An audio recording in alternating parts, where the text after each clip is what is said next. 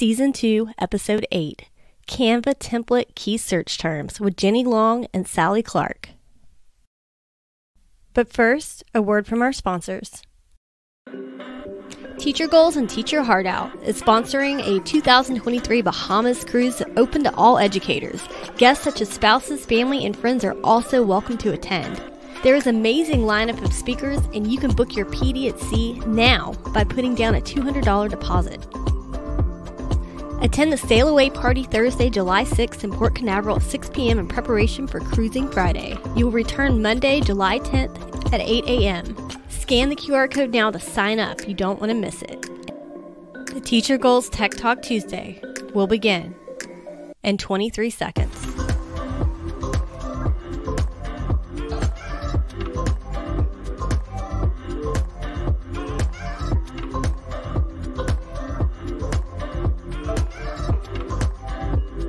Would you like to find out more information on sponsoring our live stream? Email sponsorships at teachergoals.com. Without further ado, let's start the show. Hi, welcome to Teacher Goals Tech Talks. I'm Amanda Fox here with co host Heather Brown, and we're excited you decided to hitchhike your way with us today through not only tech tools, but the pedagogies and strategies behind them. Canva has a ton of templates, and finding the perfect one can be time consuming. So, in today's episode, we're going to provide you with some keyword search terms to cut that time in half. Templates for or templates for templates per se. Um, we also want to announce the winner from last week's or the week before our DOK episode. Heather, would you give me a drum roll? All right. So um, we are giving away a DOK punch out shirt. So that way, if you forget the levels of DOK, you can wear them. Um, Deconstructing Depth of Knowledge by Erik Francis, The Canva Classroom by myself, and um, also a bunch of DOK stickers. So the winner is Chad Benke. Um, we had several Yay! people. Yay! We had several people who submitted, and um, we're excited to get that out to you hopefully this week. So, um, yay. Um, Heather, you want to bring up our guest? Sure. Tonight, two special guests. They are known together as Jenallee. Separately, they are Jeni and Sallee from Texas. All right. Hello. Hi. Hi. Hey guys. So, uh, we had them on it in our ISTE Live, so it's great to have you back. It's great to be here. Thanks for having us. Awesome. And um, for our viewers, just tell us a little bit about how you got into um, what was your Canva journey? Sure. Um, actually, I started using Canva, oh goodness, about eight years ago when it was in its infancy, I guess, um, at Castleberry ISD, creating content for the library. I was a librarian at the time. And just over the years, I have enjoyed watching it grow into the mega house creation tool that it really is uh, today. And so, but even then, it was answering problems that I needed, um, like templates, uh, creating cute little graphics and flyers for uh, library events. I remember making recipe cards for a cookie competition we were having. I mean, we were making them for all kinds of different things. Uh, but even um, eight years ago, so they've but now they have turned into just all kinds of things. You can make videos and uh, templates for all of the social medias. I mean, it's just insane how much it has grown. It is. It is. I think I started with infographics and flyers as well. I think mm-hmm. flyers are the gateway to um, all Canva. teachers come in and they're like, "Ew, I can make pretty flyers," and then it's like, "Wait, wait, hold There's on." So much more. yes. Yeah. Uh, um, Jacqueline says she loves Canva, but definitely underutilizes it. Uh, mm-hmm. That was definitely the case for me um, mm-hmm. initially. I think we we all come in, and once we find all of the apps and tools to connect with it, it, it really just blossoms into something amazing. Mm-hmm. And I think does. you have to find that need. Like I started using it for um, gosh, the swim team. I was mm-hmm. helping make um, flyers and informational um, graphics and things for events that my kids were having for school, being the class mom or team mom mm-hmm. and then you just you know you, yeah you like you said there's just so many other things that you can do with it but just finding that purpose and need that works for you and what you need, then you see all those other things because it is overwhelming. Yeah. There's so much you can do. But then it's like once you learn a tool, you just you want to use that tool for everything because you Mhm. know it so well inside and out. And so before I knew it, we were like, okay, we need to make a video. Oh wait, we can do that in Canva. And oh, I know how to add this to it and this to it. So it just you know makes it easy when everything is built into one tool that you love and know. For sure. Absolutely. My um my daughter rec- like throughout the year last year, she's like, "Oh, I have to I have to do this this presentation and it's on food." And I'm like, "Okay, um let's get out a post." She's like, "Well, what if we use Canva?" And then she, she I was like, "That's I can use it too." And then just uh 2 weeks ago, she needed birthday invitations and she's like, "Ooh, I'm going to make it in Canva." And here she pulls it up and here I am. I'm like, "Oh, you can add a shadow there. Yeah. You can change all the colors by doing it. So like she's sitting there and I'm like trying to be hands off and let her learn through exploratory like learning and yeah. So um you guys have some amazing uh tips and tricks for searching for templates. Do you guys want to jump into that? Sure. Mhm. Sallee is the mastermind behind all creations. She has a marketing degree. She is Listen. extremely gifted in that area. So our strengths complement each other very well. She creates and does all that, and then I execute it and make sure it goes somewhere because when If not, it'll just live in my Canva account hidden under a template name that we don't know what it is. So there you go. I find things, I'm like, Sallee, when did you make this? What, why are we doing anything with this? So she creates the most beautiful things. So she is definitely the brains behind all of our creations. Um, Stop she's it. very, very, I am not. extremely talented. We brainstorm together. Don't let her fool you. No, but she, we love creating content. We love being, you know, former teachers ourselves and working with teachers on a daily basis. We know the need that they are constantly, um, you know, they need to find things, and they need to find time is is so limited that you know we love creating things for for educators. So one of the things that Sallee thought one day was like, let's create, um, you know, just a graphic that has already curated search templates in it because you can get in there and just get lost Oh, searching for things. So Yeah. we just kind of put our heads together on things that um, we were looking for and that were, our teachers were needing. And so we've created some some fun little graphics. Every time we hear another need from a teacher, like, oh, let's create a, a search term graphic for that. because we were finding you you guys know when you're searching in Canva, I can search one thing and it might give me you know a hundred results and a hundred templates. I can search another term and it's going to give me a thousand templates. And so right. you're like, okay, what can we do to help teachers streamline some of these essential searches that they're looking for? And also, you know, sometimes as an educator, I may not think Canva can do that, but it can do that. It just might not be a search term that I might be thinking of. Uh, like, for example, I was trying to think of some. Uh, like an exit ticket, like you can search exit ticket and that works inside of Canva, but you also could search like, do you, did you know, or what they say, top three Q and A. So, I mean, there's lots of different templates you could use for exit ticket rather than just searching exit ticket. So we try to give teachers an idea of, and a way of looking at Canva designs and templates, you know, differently. Awesome. Um, do you want me do you want to share your screen and share some of the templates or Yeah, let me get those pulled up real quick. We debated that. we were like, should we have them pulled up so we can share? And I was like, I don't know. Just a Um, second. Um, get- well, while, while you're doing that, Stephanie says, I'm excited to learn. I'm teaching my future teachers how to use Canva in their future classrooms. And then Jose says, I love Canva too. My learning resources are all made in, it, he says Canvas, but it's probably an autocorrect Cam, Canva. And Canva and Canva together as well. So um, it's amazing how many LMS platforms that uh, you can integrate and connect to Canva itself. hmm My school uses Google Classrooms, so we love it for that. And all the teachers are obsessed with making the Google Classroom banners using Canva now. Oh, the from ah.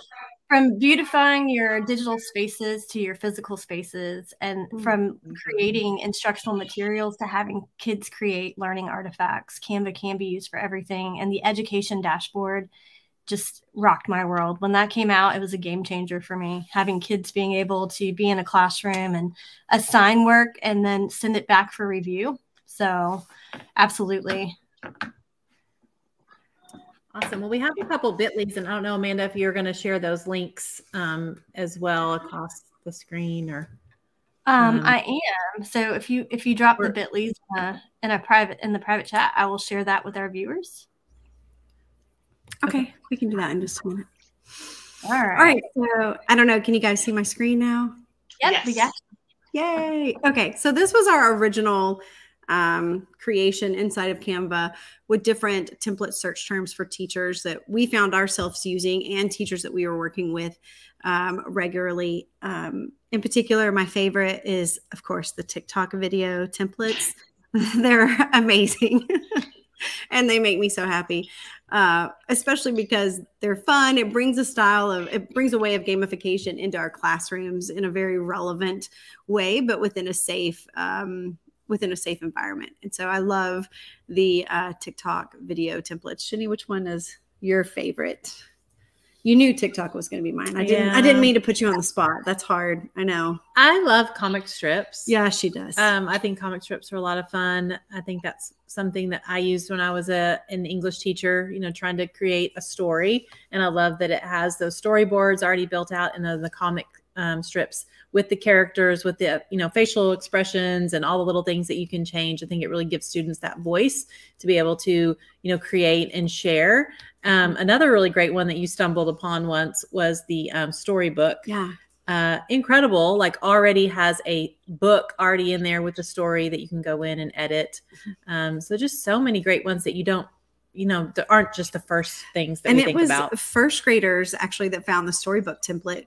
Um, i went in to show them comic strips and so we were doing comic strips and then um, the kids were like well we just wrote storybooks and we really want to show our parents and create them in canva.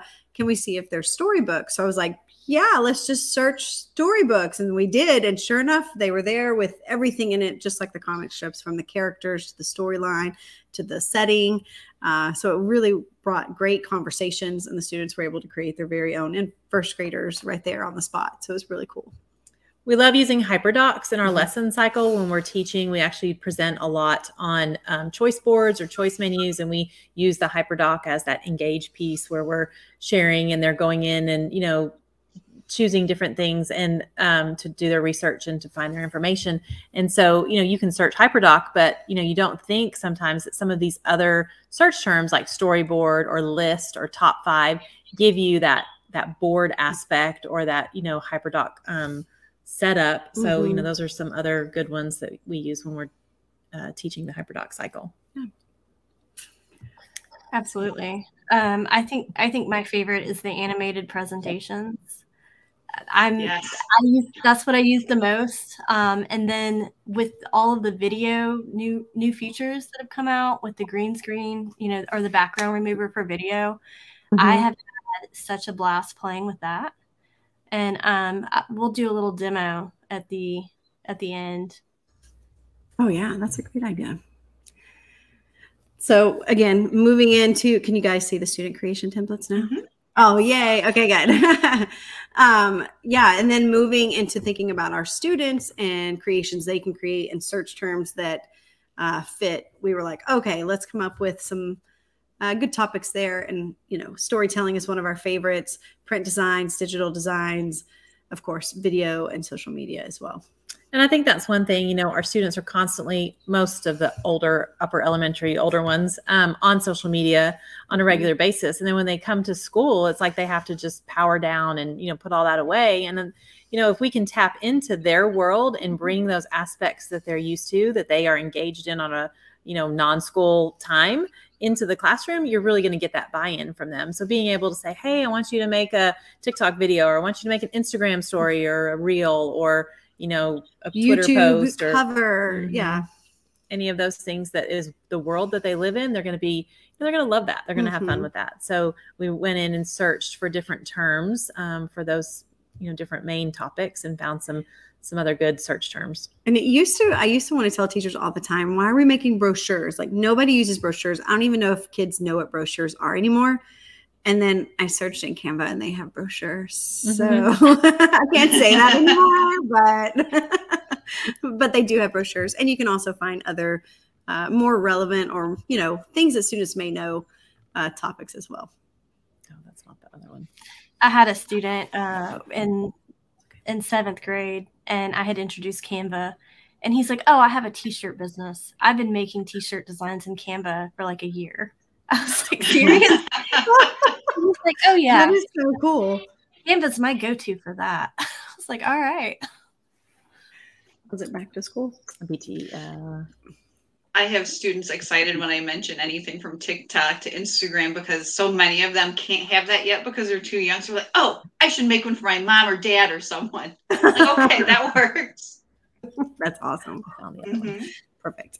And then we also created one for back to school um, because, of course, you know, we're all looking for new things as we're coming back to school and we're sharing content with teachers, trying to help them uh, jazz up their classrooms. And oh my goodness, we've had so much fun ordering actually from the Canva print uh, feature, and the quality is amazing.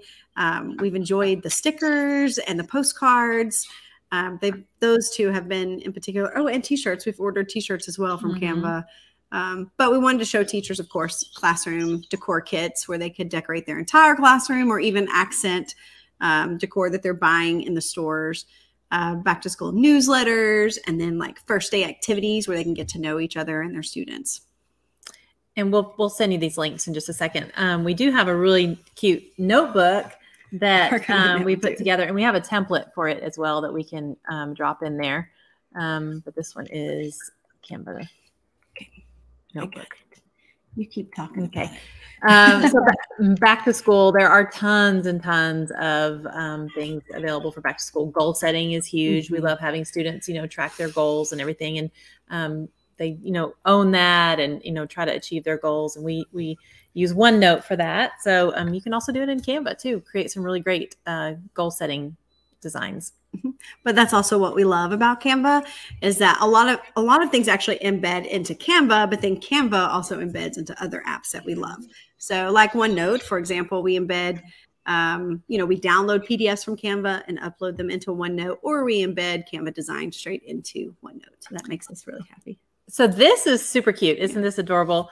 No. again made this adorable little So- notebook. And so it has all the things we Yeah. just showed you, which was, was perfect order. Back to school, classroom templates, oh um, the student templates, Mm. and then we have a, uh template for this actual creation. Because when we shared this out, everyone was like, "Do you have the template for that? How do you create that?" So you just click on the button, I mean, the tab of the notebook, and then you can go back home and go to each one, um, just like a normal notebook, or you can flip through here as well. Uh, but top 10, what was that one? Do you remember? You know, I can't. Oh, Oh. yeah. These were like, we just pulled out 10 of our favorites that we think are teacher templates that must, the must haves. So we pulled out top 10 uh, where you can click and go to those as well. I was so excited when they added the whiteboard feature. Oh, yeah. Incredible. awesome. All right. And then, of course, like Jeni mentioned, this last tab is Teach with Canva. Canva has so many amazing resources for educators that I also don't think we tap into enough Yeah. um, to learn from. The design school is incredible. And Mhm. I love that they have courses for students that just walk them straight through. Here's an activity, go and do it. And you can learn, watch the video, and then go and do. So I think it's just a great opportunity for teachers to take these lessons and just, if, especially if you're introducing Canva, this is a great way to do it. And especially if you're not feeling extremely confident, the uh, courses that are in here are great to do in your class so that you don't have to worry about being a master of it because none of us are masters or, you know, but these um, are great supports to use in your classroom. And Jacqueline, yes, you can use all of this in Mhm. Google Classroom. Um, if you have Google Classroom, all you have to do is connect your students or your your uh, set set up an educator account and connect your students. Um, Scott Noons is great. If your school is not connected, he can get your whole school connected or district. It's free. And then once you have the students in there, you can you can post a design or an assignment directly to Google Classroom from Canva. Mhm. Um, The teachers in my school love doing that. Yeah. This one is actually the template. if you want oh, is it that one. Canva book? No. Sorry, we're sending you That some, one is uh, the right one. Do oh, that one. okay, okay. Sending you the Bitly so this of one the is notebook um, with all of them template. too. That one's the template. Oh, and we'll send you the template too in case anybody wants to make their own notebook.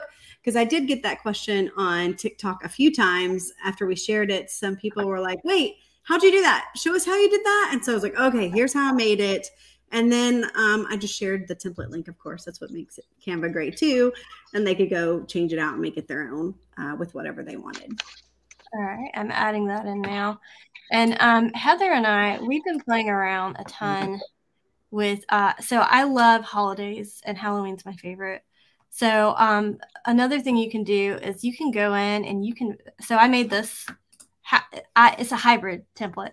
I made some of it from scratch, and then I looked at other templates and borrowed and stole and, and personalized it and um, made it appropriate for the grade level. And I like to tell teachers that Canva is teachers pay teachers, but for free. Like yeah, you yeah, have all the resources. You can you can look it up, and um, again, whatever you find, you remix, uh, reuse, or recycle. Hmm. Uh, so this is this is kind of like a, a writing assignment. It's genres, hocus pocus, genres and focus and it's looking at um, the characteristics of Hocus Pocus the movie and whether or not it's more horror or fantasy. And they have to okay. I have to stop you for a second. Hmm. I need everyone to look at their eyes. Because that's the best part. Sorry, I just had to point that out before you scrolled on. yeah, and um, another thing you can do to customize these templates is I like I'm I'm a, I like to draw. So um, I go into Procreate and I actually drew the Sanderson sisters and added them in, and then I just added these I just added these googly eyeballs on top of them.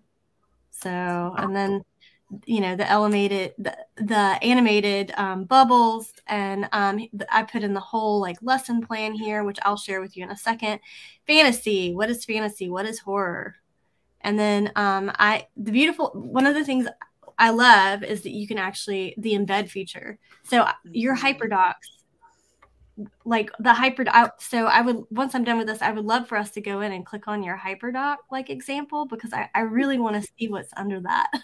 but um, they, they have uh, I've, I've vetted videos, and this is exploring genres. There's fantasy. There's there's elements of horror, and then we've got our little Frayer model where they have to um, kind of define what fantasy is and then again what horror is. And then they have to write an argumentative essay on um, which one they believe you know it is. And then i've created almost like a hyperdoc where they have to organ it's kind of like introducing the content and it takes them through uh, instructions on how to write an argumentative essay.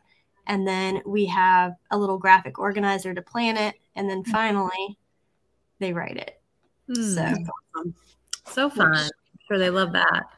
I'm gonna stop sharing because I, I really want you guys to bring back up that the doc with the with the hyperdocs. Oh, let's see. Oh, yeah. Um, I mean, we have a couple examples, but they're really just templates, links to templates that you could use as a hyperdoc. Um, that would be great. Um, so, yeah. teachers who don't know what hyperdocs are, do you guys want to kind of explain and um, talk about the template? Sure. So we love using HyperDocs. Um, in fact, Lisa Highfill, who wrote the HyperDoc handbook, um, taught us about them. Uh, we come from uh, a Microsoft background, and many times in Microsoft, I think you'll have to go share our screen too. Okay. many times, um, you know, we haven't we haven't seen HyperDocs used much within our groups and within our teacher groups. And so um, I honestly, this is so sad and kind of embarrassing now that I know what hyperdocs are. But in the moment, I thought it was just a doc with links in it, like a web quest yeah. back in the day, you know? And so I was like, oh, okay. Like, I don't know how this is um, innovative, but it, it must be. And so um, as she explained it to us, we realized, oh, this is the entire lesson cycle uh, organized and curated within a doc. It's not just a doc with links, um, and which I love uh, because I feel like then students know the direction we're going, and I also stay on track and know exactly where I'm going and make sure that I'm getting in those important pieces within my lesson cycle. So this is back in in the notebook. We just clicked on the teacher search term section, and then under HyperDoc, we just kind of curated a few ideas that help us when we're trying to design our HyperDocs. So we were looking for templates that would be structurally good with like the boxes and things. And again, we do a lot of you know the choice board, and we focus in on that engaged piece um, during the lesson cycle. And so, I mean, just like you do, we remix all of these templates, not to say lessons, right? Or lesson plans for so, you know, to say, but it, you know, if they have boxes, one would be engage, the next one would be explore, the next one would be uh, direct teach. And so it's just walking you through the entire uh, lesson cycle uh, into each one. And a lot of times we'll take that and then um, link it to another page and essentially build out just like your great example of the hocus pocus, an entire lesson built out and linked and interlinked within Canva. Like this grocery list, mm-hmm. like, you know, you just don't really think gr- search grocery list or list to find something with these cute boxes mm-hmm. that's going to give you that divided up lesson piece. And while we're on that, I know you you just talked about um, decorating your digital space and your home. It's like a huge, um, uh, what's the right words? A, a, a big passion of ours is making sure that we're creating content that is digitally appealing for students. I think during COVID, one of the things that was quickly evident, I'm sure you guys saw it as well, was we were in information overload uh, and text overload. Everything was text heavy that our kids were bringing home and that teachers were sharing because in the moment we had to just get information out.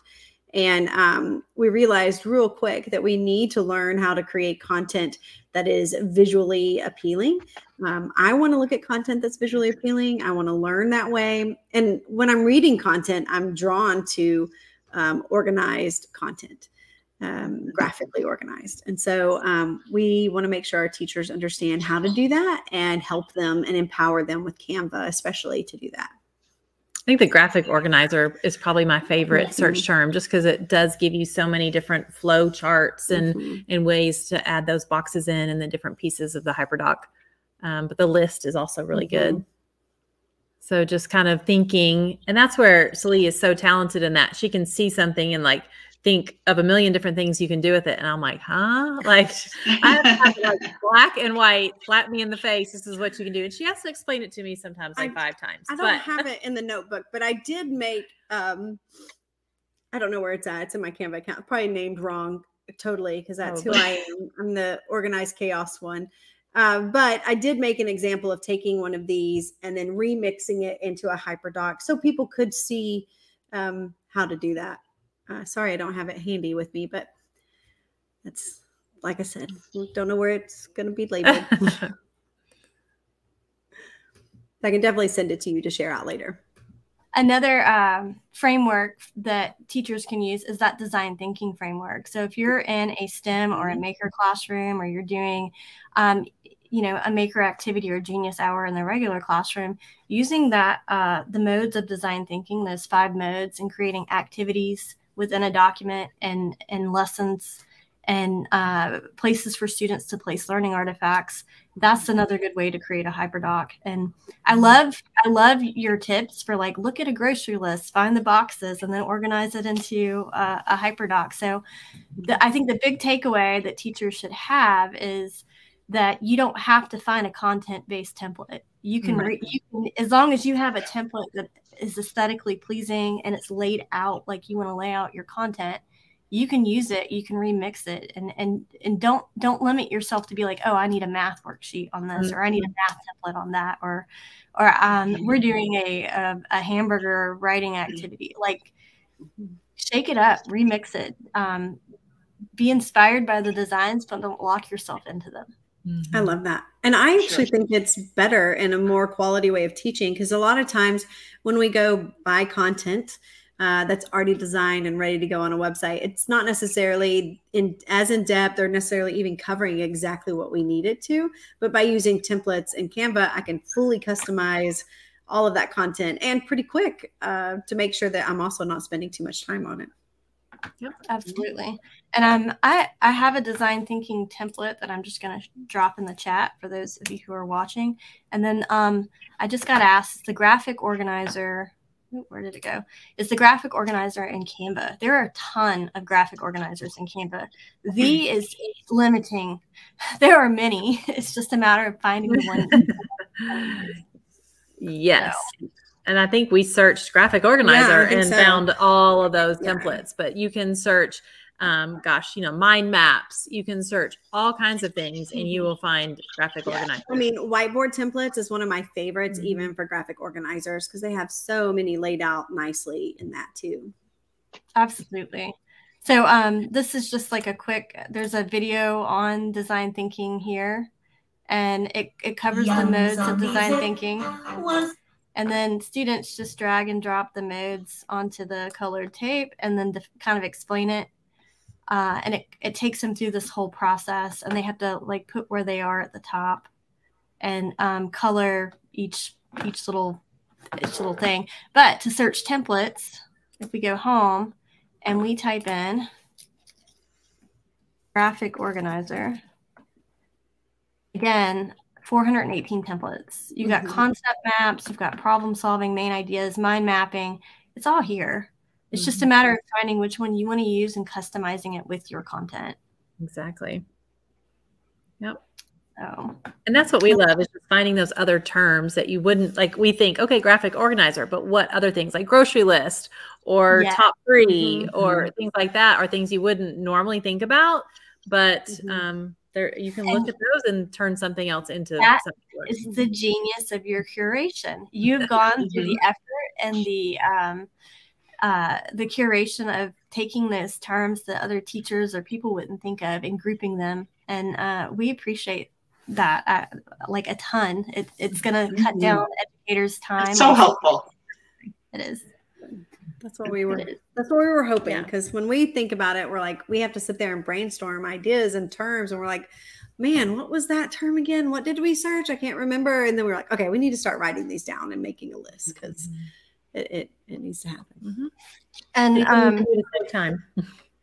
and uh, i'm gonna i'm gonna say this because i didn't do it um, make sure as you're creating in canva that you have folders and that Yes. you are filing things into folders once you get up to over a thousand designs you can't remember again i don't save my design i'm like did i save that as design thinking did i save it as dt Mhm. I'm with Or you. did you even rename it and it's just blue and white template with dogs? Yes, exactly. Exactly we, we do use folders now extensively as well but the, what made me start using them i will tell you we also have you know a, a million designs in there but what did make me start using folders was when they added folders to um, the more the three dots and more where i can go grab um, something from inside of a folder and add it to a design so Oh, that was huge for me because I didn't want to have to scroll through all my designs to find them. So having them in folders definitely has uh, eased my creation and made it a lot faster. Because there's always something that you need from another design. You're like, oh, I don't want to, you know, copy all of the individual elements and paste it. But Yeah. then when you can just go and grab it, it really, really made a difference. Yeah. So if you go to more, the, um, I've already added folders here, but like Mhm. if you went to more, you could add you could add folders. I have folders, and you can see the different folders that I've created here. Um, and the other beautiful thing is all your designs. So anything that you've created, I could add a page and I could pull from it. So let's say I want to use this hocus pocus um, argumentative um, plan for for students, but I want to change the theme. We're doing something else. It's maybe maybe the second argument. I can totally change it. I can change all of this, but I don't have to start from scratch because I've already built it once. It's genius. Yeah. Yeah. Just any of this. Oh, add a page. Now I'm going to add this. Then you just go in and you resize things and rework it and put it in the format that you want. Yep.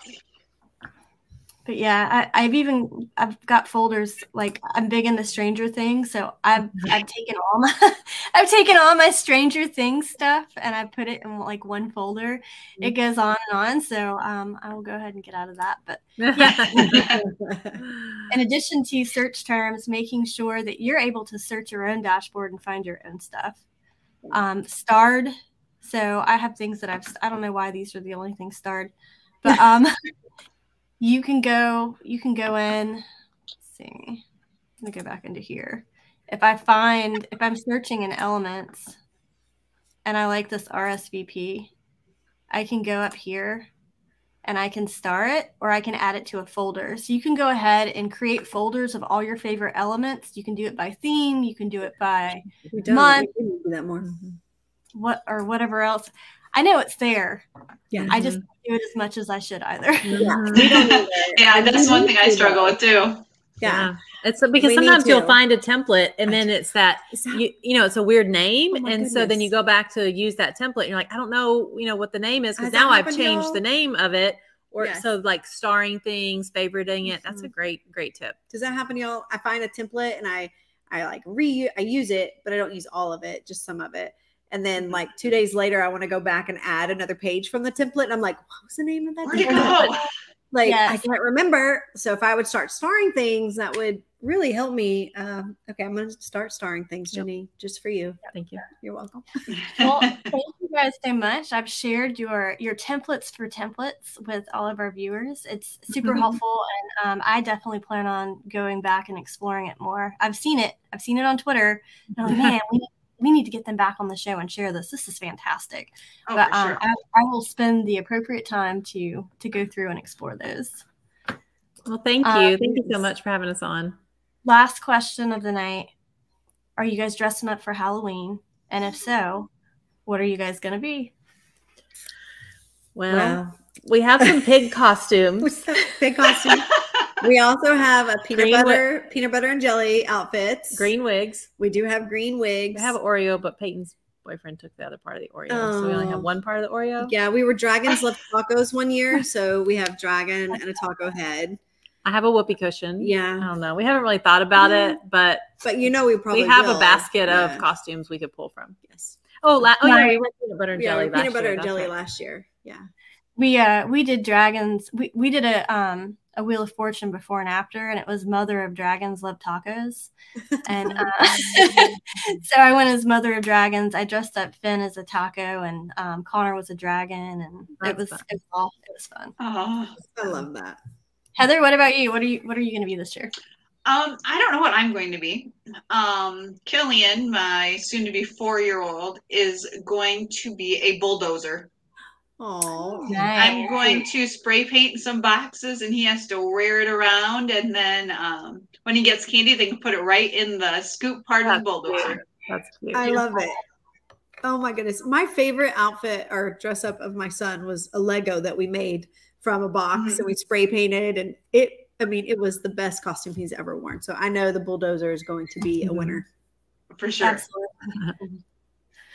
All right. Well, thank you guys for joining us. I hope you have a fantastic Taco Tuesday. And uh, I hope everyone enjoys Halloween. We will see you guys before then. We have more Halloween uh, templates and tricks up our sleeves and treats.